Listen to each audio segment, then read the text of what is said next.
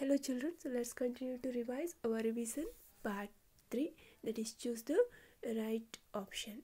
Dash people are unable to hear soft sounds or cannot hear at all. Dash people are unable to hear soft sounds or cannot hear at all. See the option.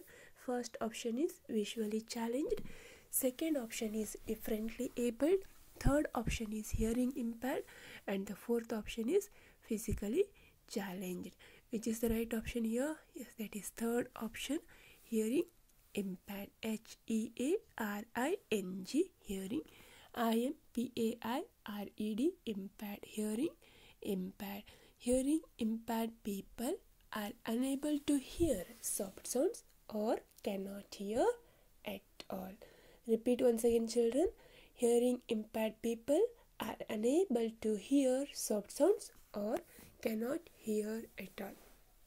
Next, the hearing impaired people use dash language to communicate. The hearing impaired people use dash language to communicate. See the option here. First option is English.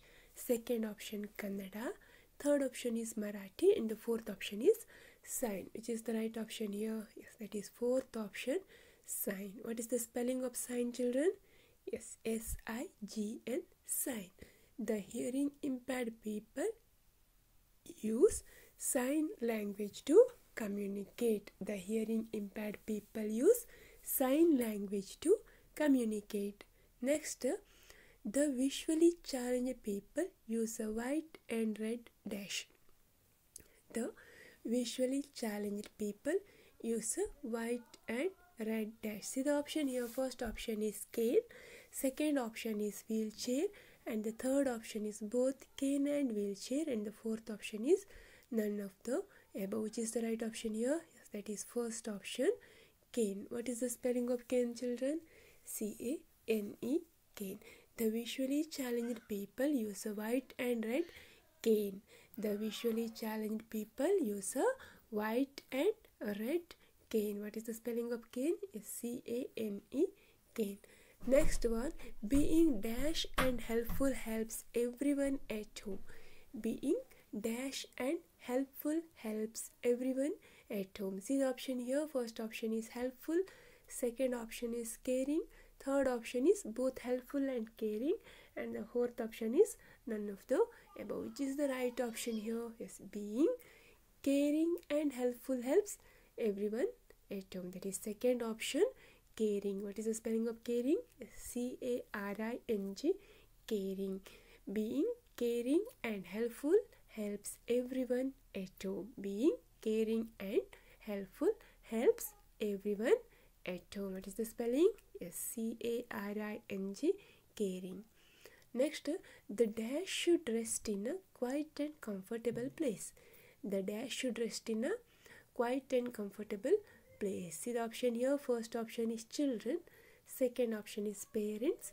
Third option is sick people. And the fourth option is none of the above. Which is the right option here? Yes, that is third option. Sick people. Sick. P E O P L E people. Sick people. The sick people should rest in a quiet and comfortable place. The sick people should rest in a quiet and comfortable place. What is the spelling of sick people, children? Yes, S I C K sick. P E O P L E people. Sick people should rest in a quiet and comfortable place. Next, what is the script used by visually challenged people called dash? What is the script used by visually challenged people called dash? It is braille. What is the spelling of braille? B R A I double L E braille. B R A I double L E braille. What is the script used by visually challenged people? Yes, that is braille. So, children, read till this much and study well. Okay, thank you.